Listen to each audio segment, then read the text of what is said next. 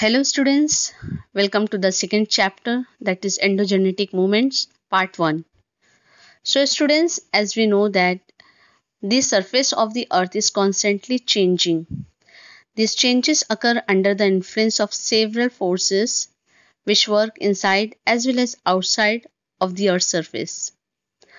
Those forces which act from within the earth are known as endogenetic forces.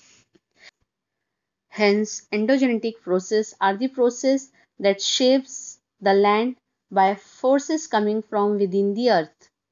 So, our learning objectives for today will be introduction, internal movements and its classification. Internal movements means the endogenetic movement. Internal movements are then classified into two categories that are slow movements and sudden movements. What is slow movements? Slow movements are some changes in the earth crust are so slow that it takes hundreds of years for it to become noticeable. They are called as slow movements. And slow movements have been classified into two categories. That is first one mountain building creating folding and faulting. And second one is continent building leads to the creation of continents, plateaus and highlands. So students, we have here an activity. Try this out. Arrange your notebook on each other with chalk, duster, sharpener, eraser on them as shown in the picture.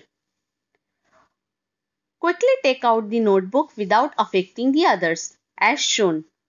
Now repeat the first step again and give a slight push to the structure. So what did you observe students?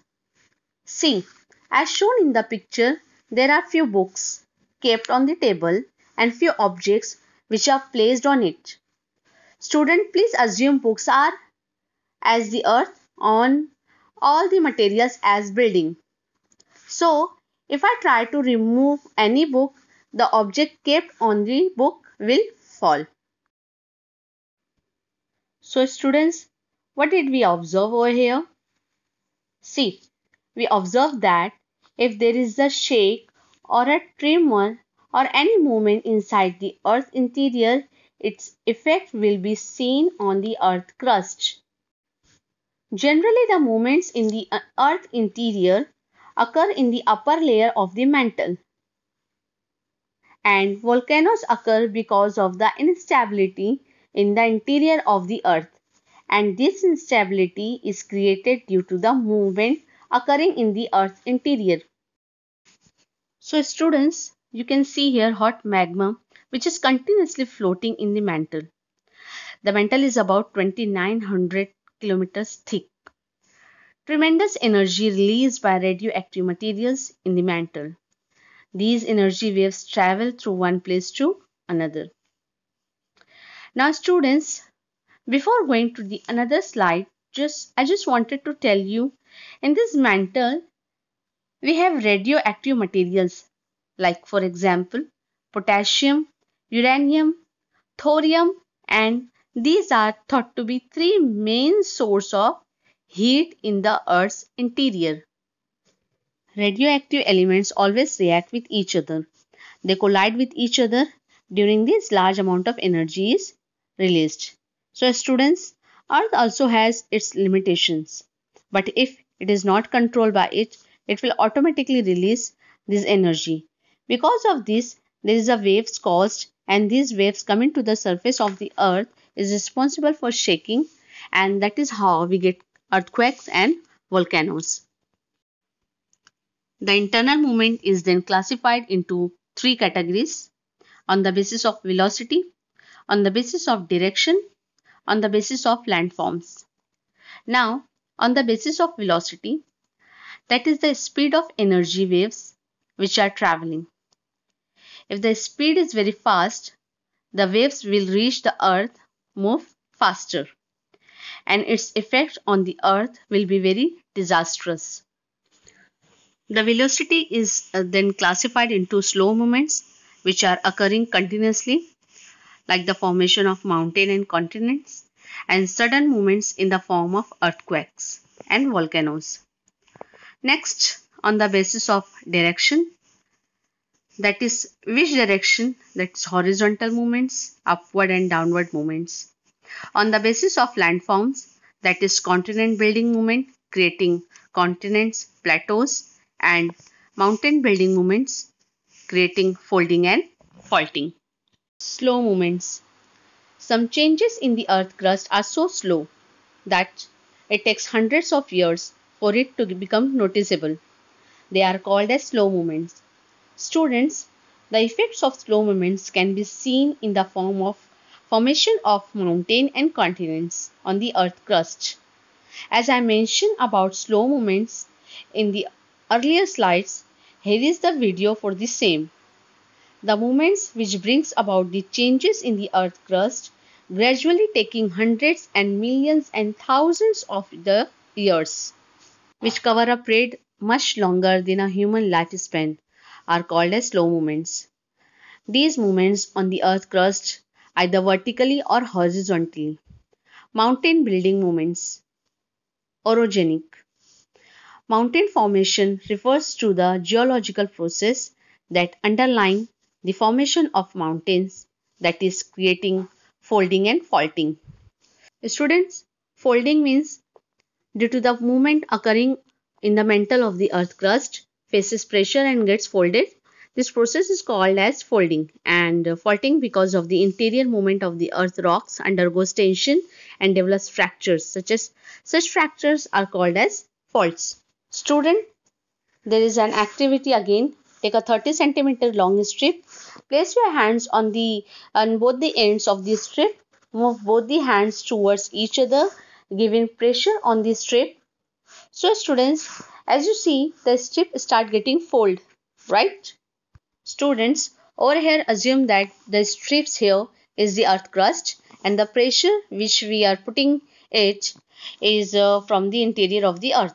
As a result, the strip moves and folds are formed. This work is called as compression. As a result, the strip was moved by placing hands on both the ends. The work performed on the strip at that time is called compression. Pressure was given on the center of the strip from both the ends. As a result, the strip moves and folds are formed. Similarly, due to the movement occurring in the mantle of the earth, the crust faces pressure and gets folded. This process is called as folding. Forces of compression are the forces which push the rocks against a hard plate from both the sides. The compressional force leads to bending of rocks layer and thus leads to the formation of fold mountains. So students, what are the fold mountains? Energy is transferred from the interior of the earth because of these energy, waves and pressure working towards each other and in horizontal direction the layers of the soft rocks form folds. If the pressure is very high, large scale folds are formed. As a result, the surface of the earth gets uplifted and fold mountains are formed. As I mentioned about the fold mountains in the earlier slides, this is an example of better understanding. This is the example of fold mountains students. Now we will just see the formation of fold mountain. They are formed when the layers of the earth crust are folded by compression. You can make your own fold mountain with the help of some hand towels. You can lay 10 hand towels on a flat surface and place two shoe boxes on each side as shown here. Then push the shoe boxes towards the center hand towels fold mountains are ready. Okay students, try this out.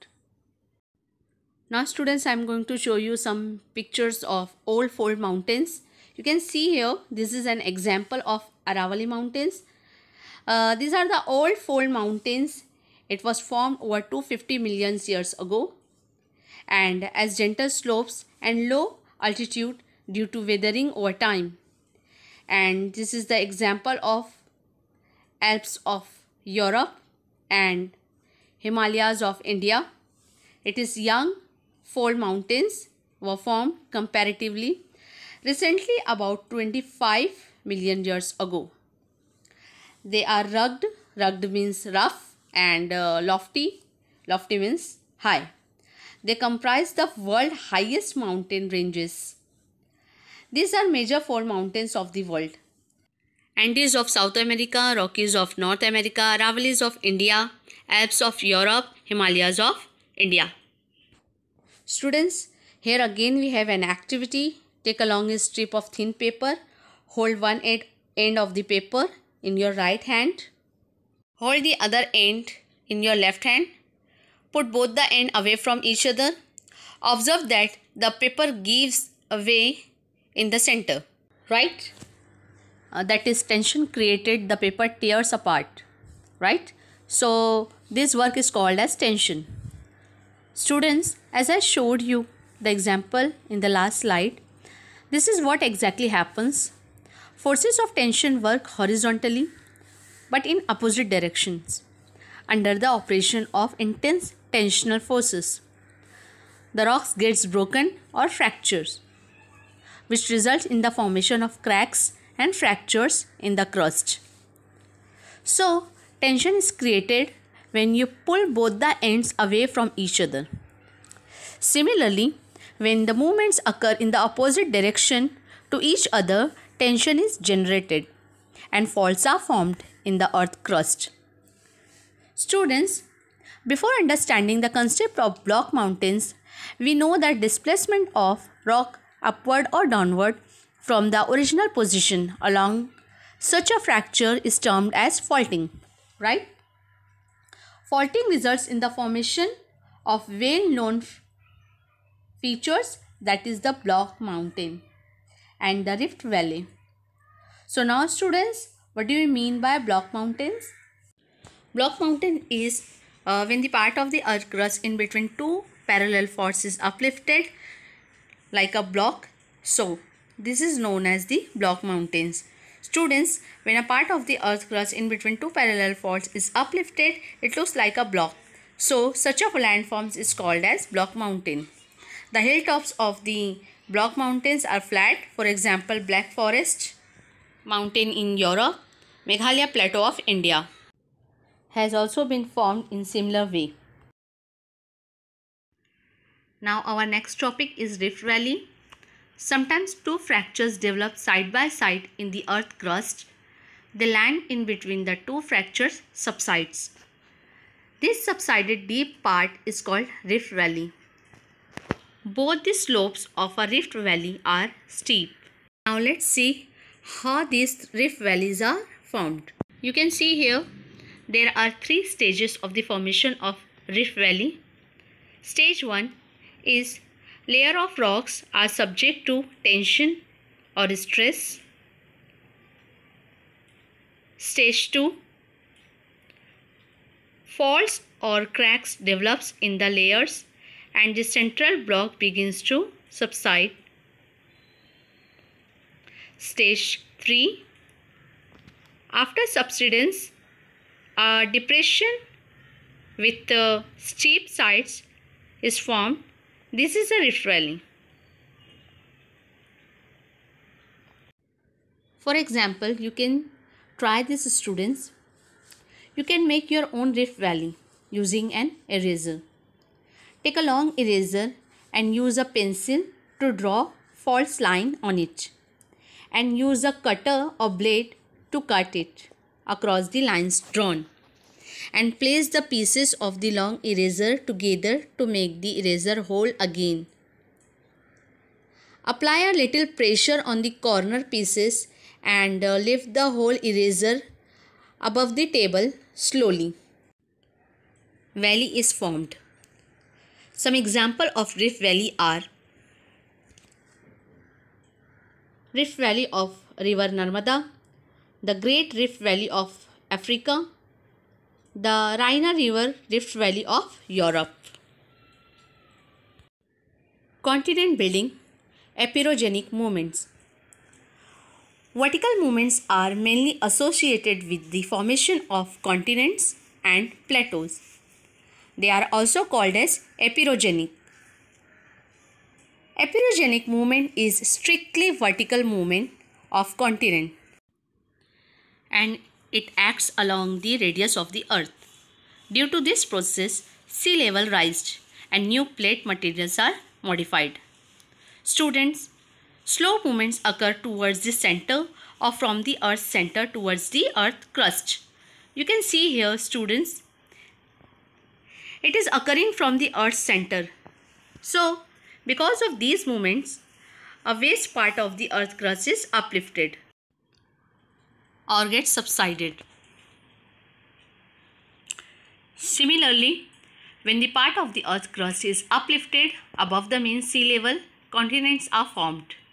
Therefore, these movements are called continent building movements. If originally continent portion of the crust subside below the sea level, it forms the part of the seabed. As shown in the picture, you can see the seabed.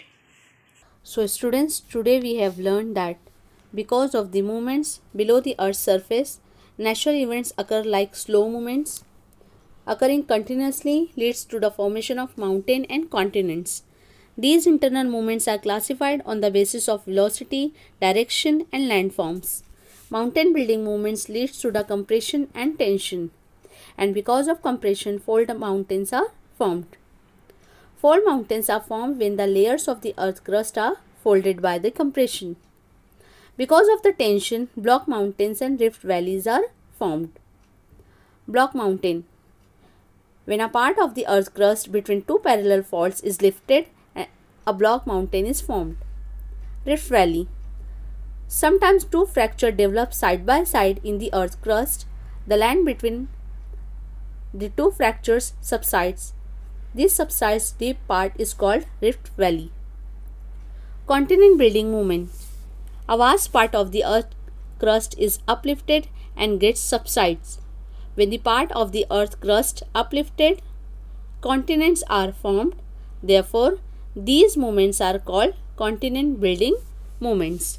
Now students, I hope everyone has understood the part 1 of the chapter endogenetic movement and uh, we will continue our next part in the next video.